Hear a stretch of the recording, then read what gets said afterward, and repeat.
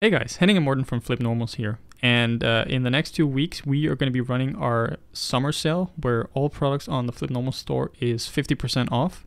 So make sure to go over there and check them out. Now, these products that we're going to highlight for you today are actually, you know, that all of them are 50% off. And these are going to be for anyone who wants to get into character art, anyone who wants to be a character artist.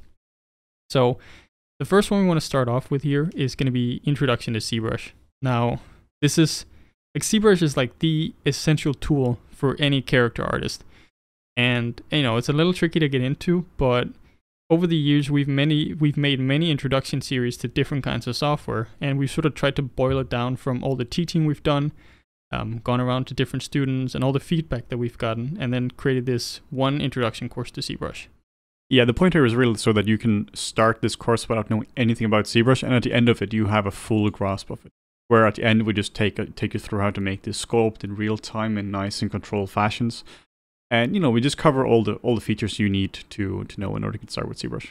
The difference between this kind of introduction and your standard introduction to ZBrush is that we don't cover every single menu item. Like you don't need to know what's under the Zplugin menu on like number five or something. Yeah, exactly. This is this is geared towards character artists where we work with ZSpheres and show you how to build up form really quickly. Like we talk about in many of our YouTube videos, you know, how to really build solid designs and looking at your silhouette and, and building building form and, and shape you know, in a really effective way. So that's going to be the first one. Like it's a really good way to, to get you started if you know nothing about 3D and you don't know anything about characters really. Yeah, without this, you know, without knowing ZBrush, you can't really do anything as a character. yeah, exactly. So that's why we're starting off with this one. Um, then we have modeling characters for games by Gavin Golden. Now Gavin is some someone we've worked with uh, before, and he's made this awesome modeling series uh, focused uh, specifically on games. Now Gavin is a character artist for Insomniac Games, and I think he was recently working on the new Spider-Man game. And yeah, he's been a few years on that. He's been a lead artist there for years now. Yeah, so Gavin, really awesome and really cool style of teaching. So this basically takes you through his workflow of how he created this character. And like I said, it's it's it's aimed at games. So you can take a lot of the principles from the introduction series and then start to apply it to to this series directly. Like I would recommend an introduction series if you have never touched ZBrush before. Otherwise, this uh, series can be a little more challenging to to get into. I wouldn't recommend this series for someone who's never opened ZBrush before, basically. Yeah, it's a really cool series because this is this is something which I would personally like to watch.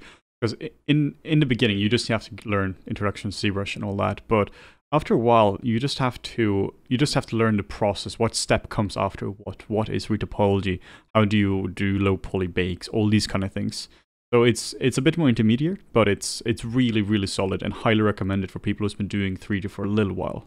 Yeah, and you know, Gavin has a lot of really cool tips about uh, making stuff for games, whether it's uh, you know you're working with with fabrics, um, how you how to do your bakes properly, how to present it in Marmoset as well. So once you're done with all this, you can have a really cool presented character.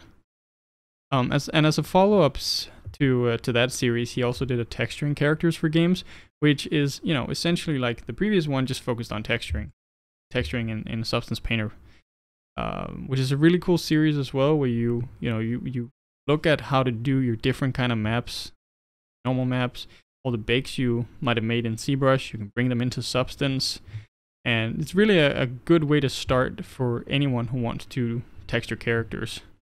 Yeah, if you if you're interested in learning texture, I can't recommend this enough. I've been working for like most of my career as a texture artist, and I learned so much from just watching this as well. Just seeing another high level artist like Gavin working is is really a treat.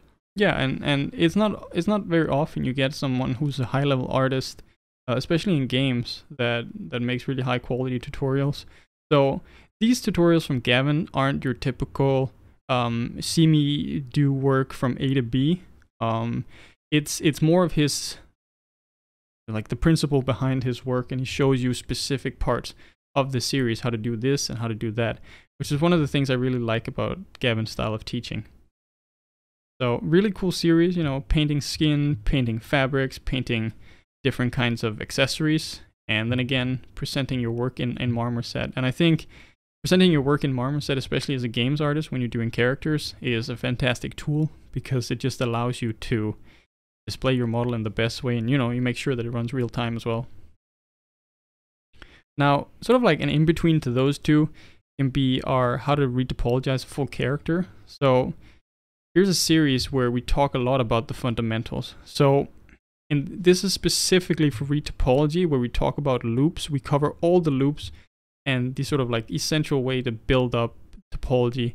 A lot of the times when people start out doing retopology they just go ham right away. They just start creating details in the topology that don't necessarily need to be there and it's not always focused on on good deformation but that's really where this series i think stands out Yeah, so whatever tool you're using, this here is going to work. We, we used Maya for this, but you know I've been using, this exact approach in 3ds Max or like or Modo, or you can even use Blender, like whatever it is. This is all about the principles. Mm. The tools are so simple, like using Quad Draw, and you're just dragging it out. What's hard about this is the methodology to it. So we just cover every single thing. We're starting off with blocking out the main loops, and then we're just connecting everything up, finalizing everything, and uh, then we're doing UVs for the character as well. Just showing how you can do UVs in a nice and easy production friendly way.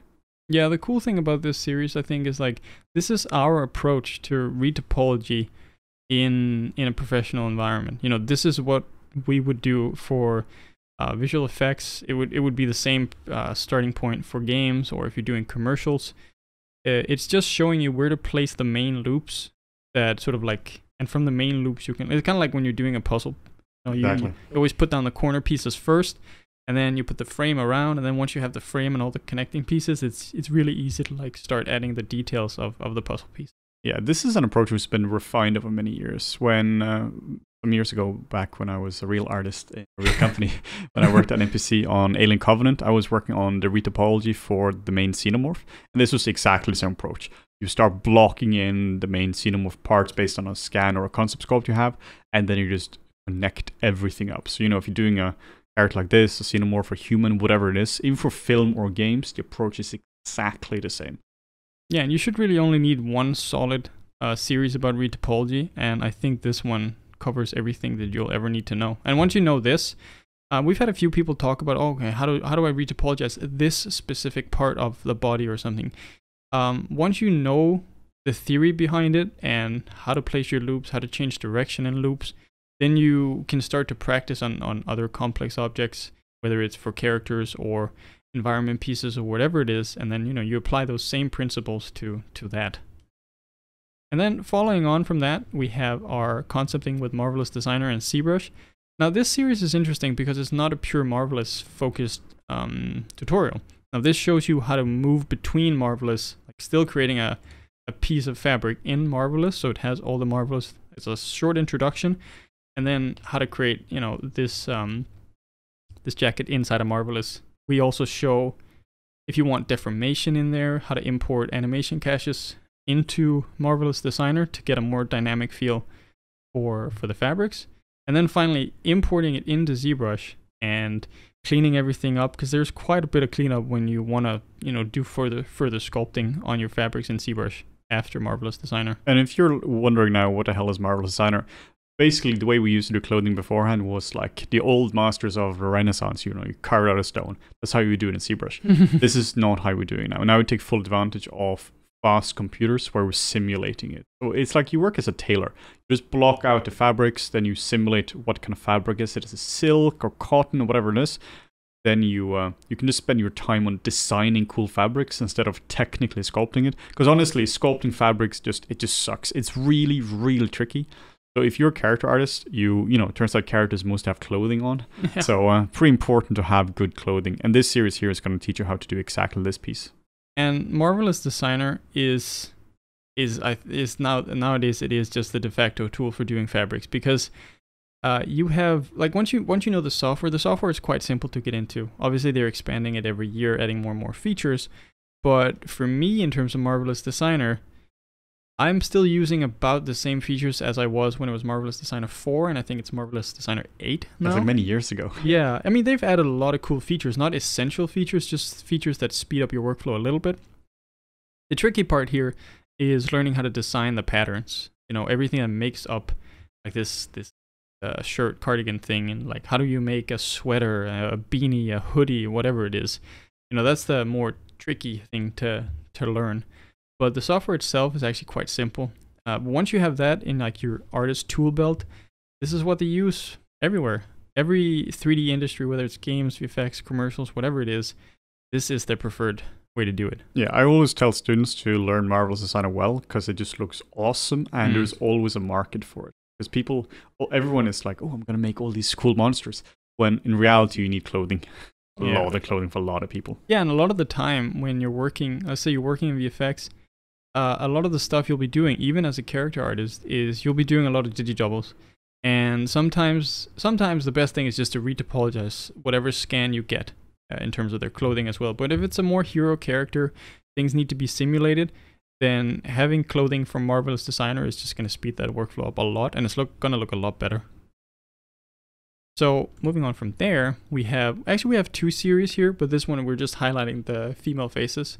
So this is a fundamental sculpting series. So again, we're sort of like doing this progressively. Would recommend the introduction if you've never opened ZBrush before. So here we're just going to be sculpting female face.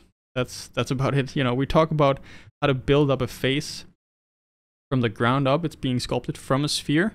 Talking about bone structure, building it from the inside and out where we it's like one of those principles we always talk about in our youtube videos you know you don't never want to go too ham with details uh, too soon because then you just start to distract yourself This was such a hard series to do as well because yeah whenever you're you're doing female, everything is so soft. When it comes to doing stuff in ZBrush, it's one of the easiest things to add detail. When it comes to sculpting like something like the, like this subject here, it's all about the subtlety. It's all about the lack of detail and just big, strong shapes. yeah we have the counterpart to this series is sculpting male faces in ZBrush and that one is a little easier because men are more forgiving you Mm. can it's you can add a lot more wrinkles to men make them a lot more blocky We're a bony bit uglier, basically. Yeah, basically. and but with women, that's the tricky thing about this. Is like Henning said, the the smoothness of the face and and the you have like a lot of the times what we're attracted to is is symmetry. So preserving that symmetry, but you know still breaking it a little bit so it doesn't look too too perfect. Um, there's a little bit of detail work like this, uh, adding uh, eye eyelashes, and also you know we'll be sculpting a little bit of hair, but not too crazy. It is primarily focused on the face and how to build that up with re- really simple shapes, you know, almost planar stuff in the beginning, and then just starting to build on top of that bone structure. Then we have, as sort of like a companion to this, is sculpting the facial features in ZBrush. Now, this is where the the tricky thing with this is making it all work, right? So one thing that could be a really good exercise is before you start to assemble everything to into one face, is going through our uh, facial features. Like this allows you to just focus on one piece of the face at a time, and this is a lot easier uh, in instead of having to assemble that uh, giant puzzle piece in like one go. So here we go through all the major landmarks of the face and and basically show you what a good way to build these up from scratch. This is really important because you have to know all these things. We cover all the stuff like the helix, anti-helix, all the specific landmarks you Mm. have to know. Name them and shame them and all that kind of stuff. Because once you are doing the stuff what Morten was talking about in a, in a full series, you have to know this. But now you can focus on them in isolation. I really think there's merit to doing both, and uh, this is this is doing this, these kind of studies has really improved my art as an artist. Yeah, and the nice thing about doing a sort of like a facial feature study is that it's it's not that it's like doing one facial feature on a complete face or doing a facial feature in isolation. It's not that one is easier or more difficult, but this here just allows you to focus on it in isolation. You can just do an eye. You don't have to like, oh, okay, my nose always also has to look correct. No, you can just do like sit down for an hour or a few hours and then just go through this and, and figure out okay what makes up an eye. You know, we go through some of the anatomy as well, just so we all, you know, we can speak that same language when it comes to describing stuff. It's going to make it a lot easier for you to understand. It's not that you need to know the ana- anatomical name. Like for me, I keep forgetting them. Me um, too. It's like All the time. yeah, like I, I, I know the basic ones, the, the the like the major landmarks of the face. That's a lot easier for me to explain things, but getting into a lot of the subtlety, like I tend to forget them a lot because they're not as necessary. But it's good to get an overview of kind of what they're called and, and what they mean. So that's kind of what this series is is all about. And I think Like it's a really good series. Also a standalone series if you just want to, you know, if you're serious about improving the facial features. And then to finish off with uh, one of our newly re released series, which is hand painting skin textures and Substance Painter. Now again, this isn't necessarily a beginner tutorial. Like we're not doing an introduction to Painter here. We have an actual introduction to Painter if you want to check that out. This is more of a, like if people have already been comfortable with Substance Painter and they're like, okay, now I want to know how I paint skin for faces. Yeah, this is a fundamental series. Yeah. Meaning that in in five years, when this version of Painter is insanely obsolete, this tutorial here is gonna still gonna be valid. This approach here is something I learned back in like 2007, and it's been I've been using it with poly painting and ZBrush, the layers in Mari, and it's it's never going to become obsolete in terms of a technique. So by learning this method, you can really just future-proof yourself. Because one thing we see a lot in when it comes to specifically character art is people rely too much on tools. Oh, we have ZRemeshing for automatic topology, and you have UV master for automatic UVs and all that kind of stuff. People don't learn the fundamentals of it. And this here is really the fundamentals. We go through everything from start to finish with basic, and then we paint this up by hand. We don't use any photos in this. We just talk about color theory and good fundamentals. So whenever I've been texturing stuff for production as well, I'm using this approach.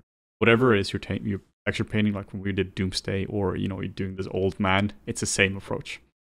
Yeah, I think the cool thing about this series is, like you mentioned, everything is hand painted. Obviously, you know, we use uh, pictures for reference to paint off of, what we always preach about. uh, it's really important to use reference, but everything is painted by hand. And it's showing you how to go through fill layers and build things up methodically. You know, we sort of like divide the face into three distinct kind of colors we have our yellows, our reds, and our blues, and just different ways of mixing these together, uh, using a little bit of filters to blur stuff out. But most of it is just it is just hand painted, not really focused on the proceduralness of Substance Painter. We also go through how to do this high frequency pass as well. This is the this is slightly more proceduralness as well. You know, we obviously aren't painting every single pore here because that's insane. we are using the advantages of um, smart materials in Painter, where there are a lot of pre-made skin materials, so we can get something like this very fast. Talking about some specular roughness as well. This is something people keep overdoing, keeping it nice and simple and really just focusing on the fundamentals which a professional texture artist would need. So I mean, even if you are interested in, in, in only modeling, it's still really handy to know the steps of texturing, just knowing how it connects to the other one, knowing that how much you sculpt in uh, in ZBrush, how going to affect your stuff in in painting.